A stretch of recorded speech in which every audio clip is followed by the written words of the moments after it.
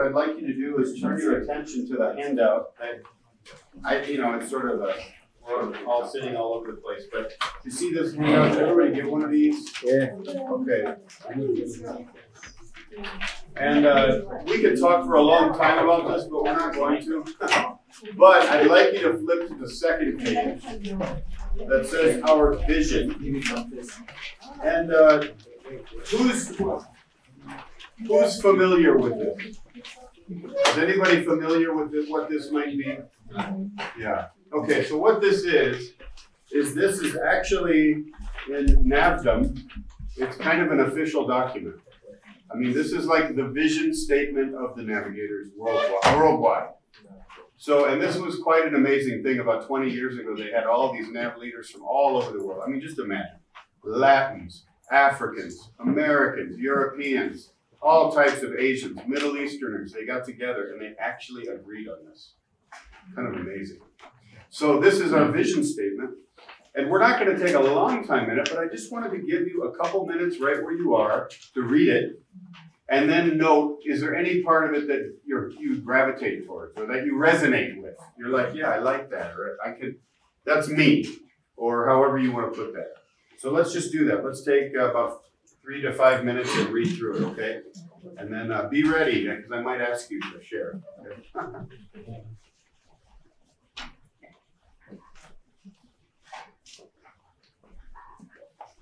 Which one? Second paragraph. yeah, yeah.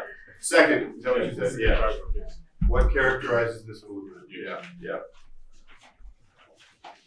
Yeah, well, no matter what kind of navigator you are, it's that's a navigator's dream is that anybody that's around us would feel that, experience that. But like any human human put together organization, there's going to be moments that it didn't go that way, you know. But go ahead. Uh, there's a, the fourth paragraph that says that they demonstrate faith Yes. and courage. Courage. Yes. Yep. Somebody. re- Yeah. The, the first line of the last uh, paragraph. The leaders of this movement, developed and empowered for God service, live out a growing commitment, commitment to Christ, Christ likeness. Yeah. The opposite of that would be to the leaders of this movement use their position for as much money and power as they can. That's the opposite. So we we hope to do different. So yes. Yeah, for me, probably my, I mean, I like it all, but my favorite, I better like it all. right? For me, my favorite is the, the, the paragraph that starts with ordinary people. Ordinary people, and, and you know, I don't know exactly, you know, how English is slightly different here than like in the States. You, you know what I mean? There's slightly different nuances. In, in, at least in the US, if you say ordinary people, you have to explain because it might come across as very like pedestrian, you know, kind of like ordinary people. But in this sense, when it says ordinary people, what it's just talking about is like regular people or like us, you know, just normal people, not like superstars or overly famous or any of that, but ordinary people who earn their living all sorts of different ways in many walks of life are leading integrated lives. And then this is how they live. They live as fruitful insiders among the lost. That doesn't mean they're leading tent revivals in their workplace, right? Or they're going into their boss's office and doing open air preaching. I mean, I'm picking an extreme example. That's not what this is saying. But it says that you are the fragrance of Christ where God has placed you. And you do that certainly with your actions and your lifestyle. And when the opportunity is there, you do it with your words. You know, you're not in the office just so you can share the gospel with everybody. You have a job to do. They're paying you to do something, right? Yeah. But there will be times because we relate to people, you know, and people want to know why do you live the way you live? You know, why do you you really seem this or that? I mean, you, you're you're ready to share, and uh, so I just love that. So that's really why I wanted us to look at that is to catch. I wanted you to just first of all be exposed to it, and I didn't know how many of you had really seen that or read that much. But uh, there's nothing in there that says a navigator is a paid navigator employee. A navigator is not an employee of the navigators. A navigator is someone who lives a certain way and views ministry a certain way. You know, we believe in things like spiritual generations, like he said. That's kind of one of our big things. You know, like for me, success is when I'm helping a guy, can he repeat the process? That's how I know it, it worked, so to speak, you know? Um, so ordinary people. So we kind of throw around this term CIPs and GIPs. It's kind of an in-house technical term, but the idea is that like some people are, are fully navigator, but they earn their income from their job. Some people are fully navigator, but they are supported by gift income because their their whole day, their whole work day is with the navigator. But we need both. So most of you, if not all of you, are what we would call CIPs, conventional income navigators. Our big question today is how do they flourish? Right? How do they flourish for the long term? And of course, there's more than what we're just doing today. I know that. But we're trying to pick the two big two big ones. And uh, I want to share that second element with you, but I have to give a little context first.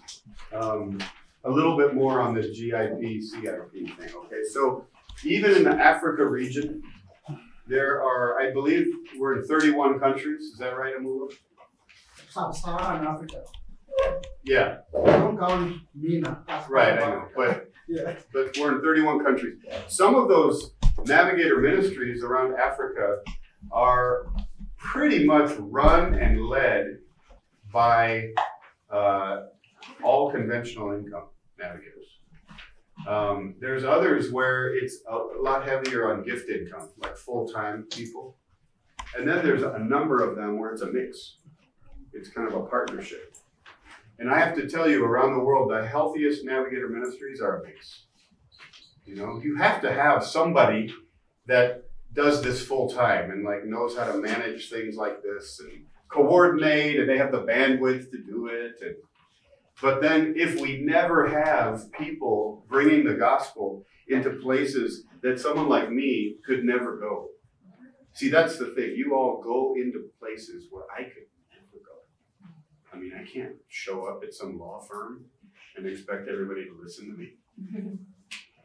But you are god's ambassador and only you can go there. And those of you who run small businesses, you interact with all sorts of clients, right? And other types of people. I can't go there. So the CIP has an advantage for access that someone like me does not have. I just have more time, you know. So there has to be a partnership between those two. So we're going to do another one of our little famous Bible studies, okay, right now. And we're going to look at Acts chapter 18, verses 1 to 11. So read this kind of interesting passage. And I'm going to warn you when you first read it, you're going to be like, why did he have us read this? But look closely at it and think about what do GIPs bring? And you know what a GIP is now? It's a gift income navigator, right? CIPs. What do CIPs bring? And why are they both essential? So I think it's it's buried in there. Acts 18, 1 to 11. So I'm going to let you guys have a few minutes to do that.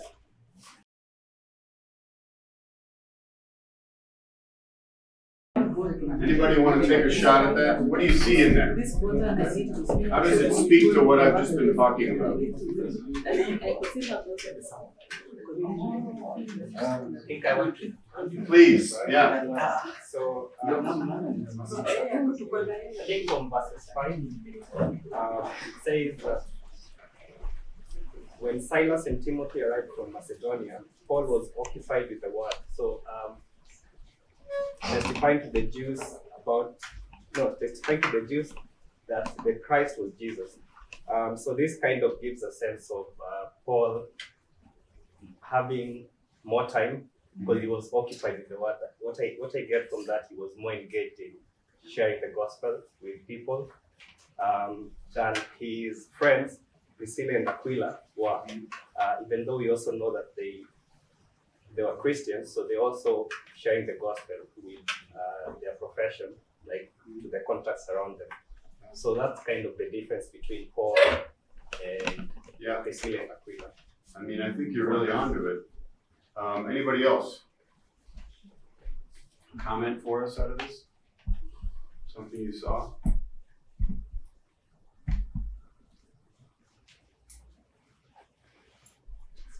Yeah, yeah. I, th- I think I think Paul transitioned from a CIP to a GIP.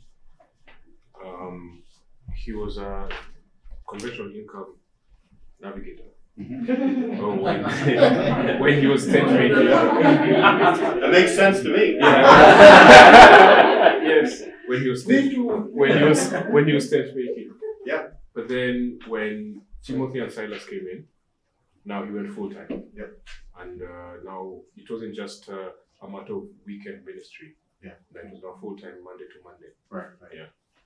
I think it's well said. And I think um, it's interesting here that he met someone named Aquila, and then it quickly goes into how they were all tent makers.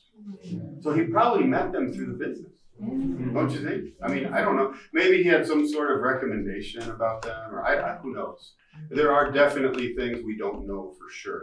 But it's not a stretch to say that he met them through the business because they were all in the same thing together. Um, and then, uh, and then it says every Sabbath he reasoned in the synagogue. And this is one of the things I would say is like, it doesn't say every day. It says every Sabbath. So like for a CIP, you have a job to do. You probably have a home to manage. You probably have kids, some of you. Whatever you have, you have things you have to do.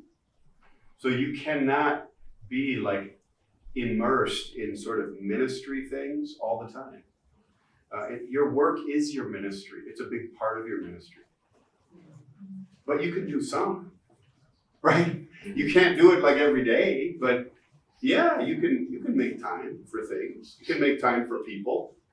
I, I mean, that's how I would like to encourage you: is make time for people more than make time for organizations or structures. I mean, those are not bad, but it's it's your neighbor, it's your coworker who might need you to meet him for dinner or something. You know, uh, somebody might be ready if you asked them to read the Bible with you. They might be ready to do it. Um, so I like to point that out. And then you're right. I think Silas and Timothy showed up, and there it's not said. So what I'm about to say is pure opinion, but I think it's educated opinion. I think they showed up with some kind of support. Because why else would it say that they showed up and then he went exclusively, right? So they probably showed up with some kind of means so that Paul could just go full full out, you know, what he's doing. And then it goes on to how uh, things went badly there, right? Um, but I do like how Paul went in the synagogue, but where else did he go? Look at verse 7. To the house of a Greek, Titius Justus, a worshiper of God. So this guy definitely had something good going on in his life. But this was not a, I mean, the, the fancy word for this is this is not a cultic location. Do you know what I mean when I say that? Mm-hmm. Like the synagogue is a cultic location, mm-hmm. but this is a neutral area. And that is exactly what your office is.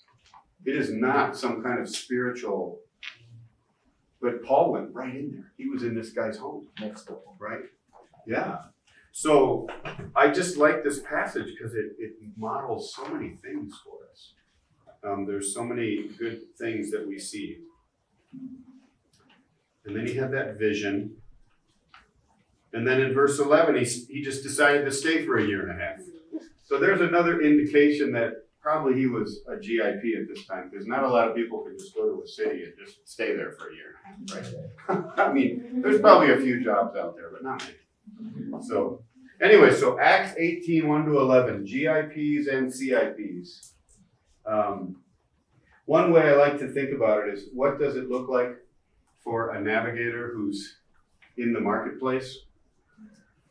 This is not a perfect statement, but I want to present it to you just for your thought. Pray big, work small. Pray big, work small. Here's what I mean believe the God of the universe to use whatever efforts you have among people to change the world. Because that's the God you serve. Pray big, right? But work small. Work with who God puts in your life. You know, you think about who's right in front of you. Fam- extended family, neighbors, workmates, high school friends, whatever. Pray big, but work small. And let God take your five loaves and two fishes and blow your mind with what he does over a long period of time. Yeah. So, just to review this weekend, we're talking about flourishing. The first one had to do with walking with God, right? The second one is this doing it with like hearted friends. That is the second, I believe, vital element needed to flourish for the long term. Is having like hearted friends who are in this with you. Does that make sense? Yeah. Gotta have like hearted people. There's Lone Rangers don't survive. So let's look at that Psalm 92 one last time and pull one other thing out of there. Psalm 92, remember this is the palm and the cedar. So I'm just going to take us there. The righteous will flourish like a palm tree. Then what pronoun do we have there? They. Do you see that? That sneaky little pronoun. They will grow like a cedar of Lebanon, planted in the house of the Lord. And then what? They will flourish in the courts of our God. They will still bear fruit in old age. They will stay fresh and green. One thing we can agree on, Chris and Mulo, over the English language is that they means the same thing. Mul- multiple people. In Americanese or in, No, no. In both, they refers to multiple. oh, yes, that one. There were there's more than one palm and cedar, right? This thing wasn't alone. He was he or she, whatever the palm was, was in the context of many. I like that it's right in that passage for us. We need others. If I can get you to flip over a few books to Ecclesiastes 4, verses 8 through 12. Now, you always got to be ready when you go to Ecclesiastes. It's full of wisdom, but boy, there's some bleak situations in there, aren't there? So listen to this Ecclesiastes 4 8 through 12. There was a man all alone. He had neither son nor brother. There was no end to his toil, yet his eyes were not content with wealth, with his wealth. For whom am I toiling? He asked. And why am I depriving myself of enjoyment? This too is meaningless, a miserable business. Two are better than one, because they have a good return for their work. If one falls down, his friend can help him up, but pity the man who falls and has no one to help him up. Also, if the two lie down together, they will keep warm. But how can one keep warm alone? Though one may be overpowered, two can defend themselves. A cord of three strands is not quickly broken. Now, this these this passage is often applied to marriage. It can be applied, but this is not a marriage passage. Sorry, it's not. It's just. I mean, we can. If you're single in this room, you can be single, but that doesn't mean you have to be alone.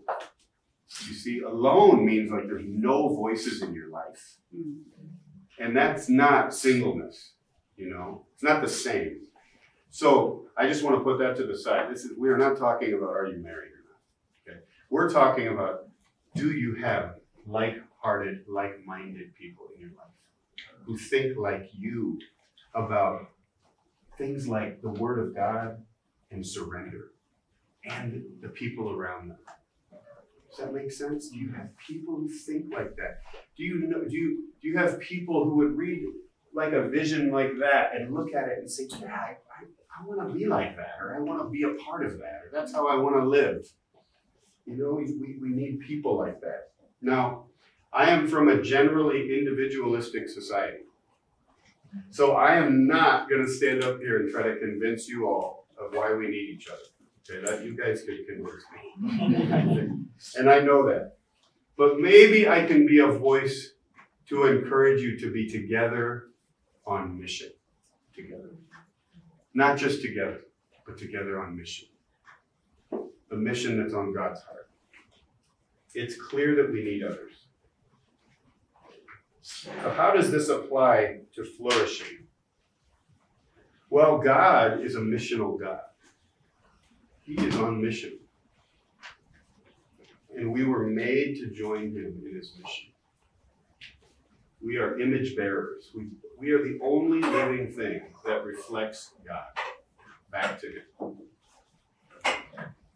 And in order to be all that we were intended to be, in order to flourish, we need to, at some level, we need to engage in, in mission.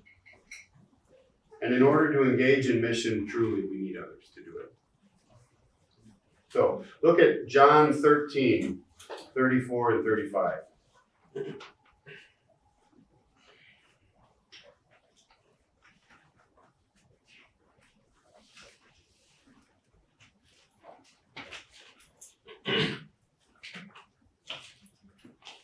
Jay, can I get you to read that for us? Thank you. John 13, verses 34 and 35. A new command I give you, love one another. As I have loved you, so you must love one another. By this, everyone will know that you're my disciples if you love one another. Yeah. I think to fully appreciate what he's saying there, it's helpful to know what he's not saying. What he's not saying is if you are a really good arguer about why following Jesus is the smart thing to do, everyone will know you're my disciples. Or if you are the uh, best dresser, they'll know you are my disciple. It doesn't say that. It says it's by your love, by how you love one another.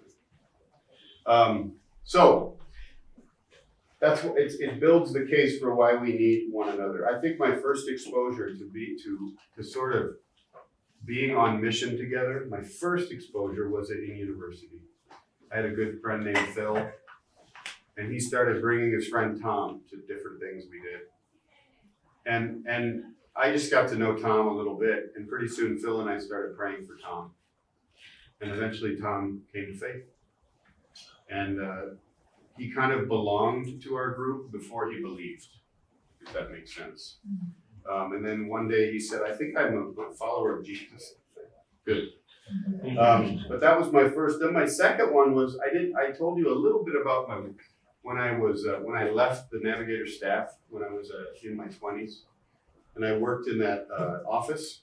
Well, I had a friend in that office who really wanted to reach out to the guys too and get to know them.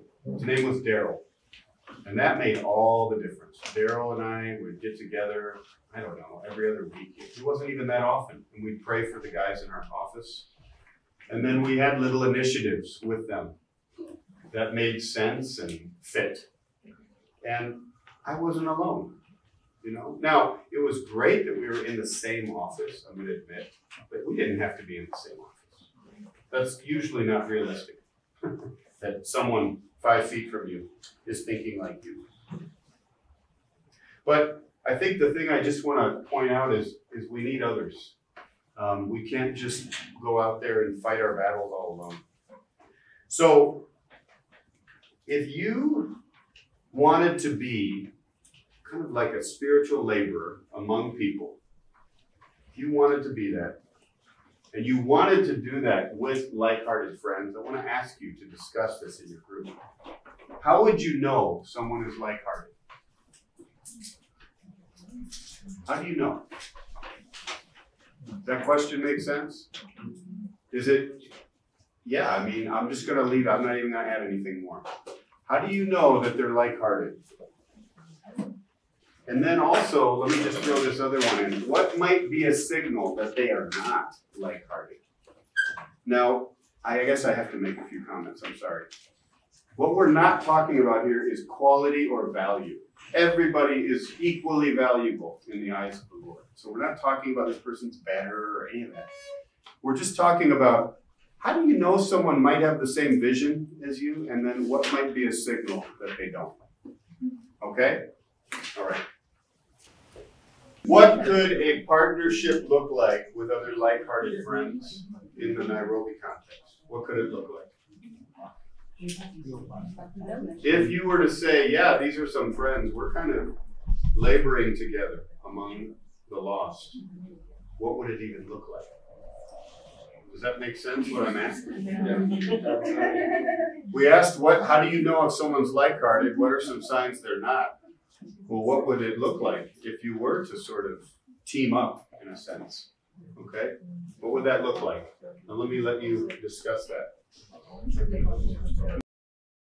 Reporting, right? That anybody wants to engage in from your group discussion.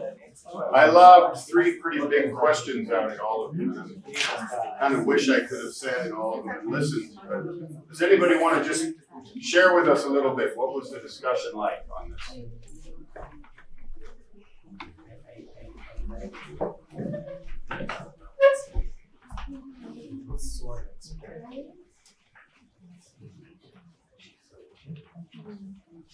Think uh, someone who said that they co-labor with uh, like hearted friends. Uh, it doesn't have to be like where exactly they are because they don't work like at the same place time. But able to co-labor like at a school and uh, you know work together. Mm-hmm. Yeah, yeah. Yeah. That's good. I think you're right. Otherwise, we all have to just go get the same job and work at the same place. We know that's not, that's not right. yeah. What else? Any other, yeah, go ahead. um, uh, the issue of Nairobi came up, Mhm. This little town called Nairobi. this, this city came up, and, and with, with how busy it is and um, different diverse of people, uh, for you to create a partnership, uh, you have to be deliberate and intentional. Because if you decide to go and visit one, and uh, the gate, it tells, no, no, no, not at home. so I have Yeah, this is not the village. You just show up. Actually, uh, David was giving us an example of a brother tribe where he could just go with his family and uh, Spend the night. spend the night there and it is okay. Yeah, But in Nairobi, it is, you have to be totally deliberate. yeah, you're not gonna, it, it's true, I mean, and some of that, it's funny, I mean, it's, we're in Nairobi, so we can say Nairobi, but I'll just tell you, it's the, it's the mega city dynamic. It's like in every city in the world, it's, this is how it is, it's like, the, your biggest enemy is like the crush of everything, I mean, the traffic and, you know, all of it, yeah. You know, on the team thing, I was thinking, uh, do you know, like in uh, the sport track and field, Yes. uh, you might have a 100 meter sprinter or a high jumper, right? There's different events, but they're on the same team. Mm-hmm.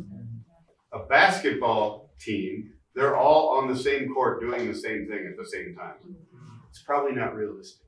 Mm-hmm. A basketball team. But what about a track team? We're on the same team, but we have different events. That might be more Nairobi-ish. Something to think about. Any other input or feedback from your time? Um, from us, I think uh, we came up with uh, the idea of uh, in order for us to have a partnership, or uh, yeah, a partnership, we need to have fellowship. Mhm. Basically, like what we're having now, in order to get to know one another, Mhm. get to know where our heart is, in order to have that bond and see the same picture that we're looking at. That is well said. So, yeah. Very good, yeah. Yeah, you know, I was thinking that, um, I mean, what would it look like if a handful of maybe a few couples and then a few singles or some mix somehow realized, hey, we kind of think the same about mission and wanting to be what God wants us to be, right where He's planted us? Maybe we can get together occasionally and encourage one another, pray for each other, and keep each other on point. You know, um, this is not. I'm not talking about a Bible study.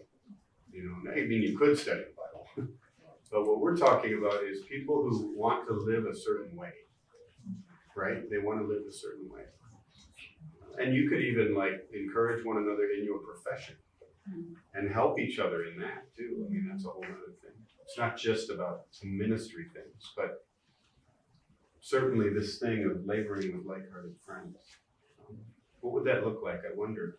So I, I'm gonna sort of, on purpose, here towards the end of my time, I'm trying to leave you with questions more than like telling you what should happen. I want you need to wrestle through some of these things, and I hope I've given you some things to think about um, today. Um, but this day was mostly about what it takes to flourish for the long term, right? That's kind of what the the day was about. Another day like this, I hope you're listening, Sam and Amulo. Another day might be on how to do this with others. You know, the question we just talked about for the last 50, maybe you need a day on that sometime. What should this really look like? Or how GIPs and CIPs can work together. That might be another. Um, those are big topics. But this this city is full of people who have been influenced and discipled by the navigators. There's a lot of people here.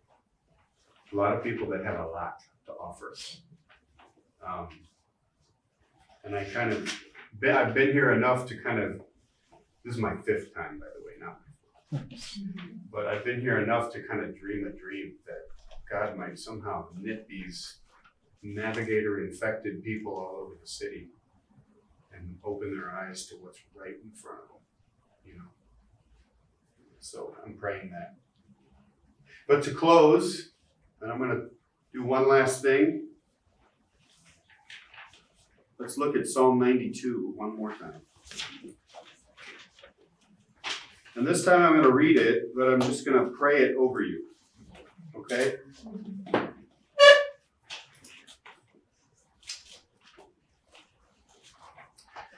So, Lord, we do thank you for the chance to get together and consider these things. Lord, thank you that the idea of flourishing is your idea. You want that for us. It's not like we have to convince you to allow us to flourish. You want us to flourish. And so I thank you for that. Thank you that that's what's on your heart for us. And I want to commit all these uh, friends to you in your name, that they would be the righteous who flourish like palm trees and that they would grow like cedars of Lebanon, planted in the house of the Lord, flourishing in the courts of their God. Lord, that, that they would still be bearing fruit in old age and be fresh and green, proclaiming the Lord is upright. He is their rock, and there is no wickedness in him. Amen. Amen.